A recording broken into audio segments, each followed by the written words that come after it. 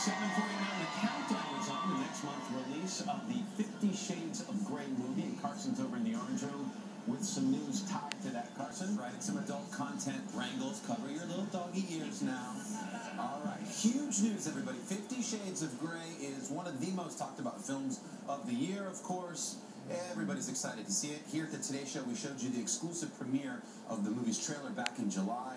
That's been viewed over 150 million times. Yet again, we're going to give you a first look, but this time it is of the full film. Today is hosting an exclusive fan first screening along with Universal Pictures and Focus Features here in New York City on the morning of February 6th.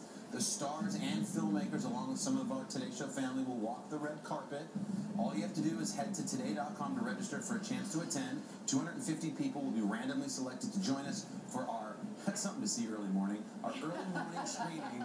It's coming out. You'll see it a full week before the movie's even released. Because of the adult content, you got to be 18 years old or to attend. The sweepstakes closes this Monday at 5 p.m. Eastern. You can find all the official rules on our website, Guys Fight Deals. So we're all going also? Is that the deal? If you want to go, if you have the stomach, I don't know if you're into Stomach. it. The stomach.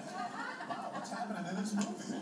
Oh, I hear the ladies of today are going. Just got told in my ear. So it's not a guy, guys, it's ladies only? Is that no, what no, no, no, no, no, no. Okay, we're being told we're lucky to go. We're, we're welcome to go. We're lucky to go.